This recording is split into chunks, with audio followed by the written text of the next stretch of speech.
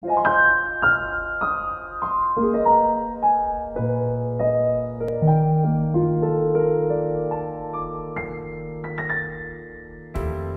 เบื้องหลังของพระราชสมัญญานามจอมปราดของไทย ในพระอัจฉริยภาพทางศาสตร์และศิลป์นั้น ทั้งหมดล้วนเกิดจากการที่ในหลวงรัชกาลที่ 9 น้อมนำคำสั่งสอนของพระราชมารดา มาปฏิบัติอย่างเคร่งครัด เพื่อให้ประสบกนิกรไทยอยู่ดีมีสุข โดยเฉพาะเรื่องคุณธรรมจริยธรรม และความรับผิดชอบต่อหน้าที่ของตนเป็นหลัก ทุกครั้งที่ได้รับฟังไม่ว่าจะเป็นเรื่องใด พระองค์ท่านจะนำกระดาษมาจด และมีพระราชดำรัสตอบว่า อยากฟังแม่สอนอีกอยู่เสมอ ถือเป็นอีกหนึ่งพระราชจริยวัตรอันงดงาม ด้านความกตัญญูกะตะเวทิตาคุณ ที่ชาวไทยควรยึดถือเป็นแบบอย่าง และควรค่าแก่การจารึกไว้ในหทัยสยาม